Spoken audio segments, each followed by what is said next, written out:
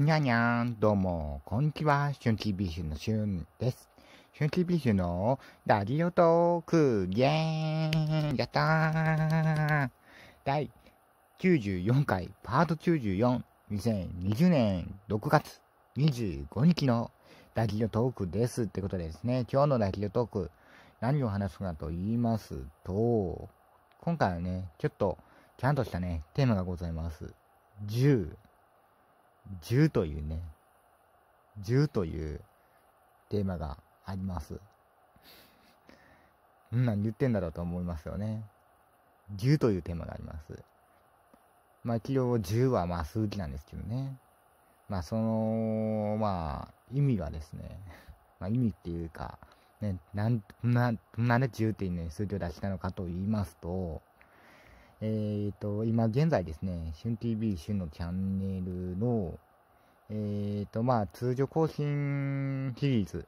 通常更新シリーズが、10になりましたということでね。10シリーズぐらいね、なんか、なんか、うん、通常投稿っていうかね、まあなんか、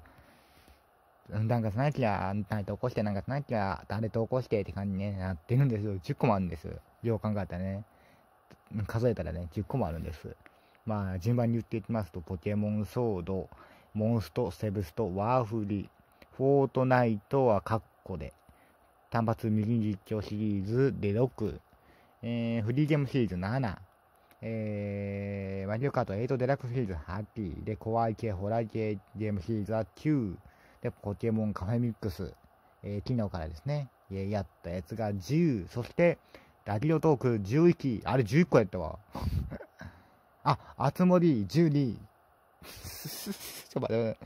あれ10個じゃなかった、12個ありましたわ。あー、でもあれね、えっ、ー、と、モンストセブスとワーフルちょっとひとまとめにさせてもらったら、まあ、10個ってことでね。もう強引ですけどね。まあ、10個ありますよね。まあ、なんでこんな、まあ、増えちゃったのかっていうのはですね、最終回が作れないんです。最終回が作れないんですよ。うん、ちょっとね、最終回がね、作りにくいシリーズばっかりなのでね、まあ、最終回が作りにくいってことでね、なんか、10個ぐらいね、ちょっと広がってしまってますが、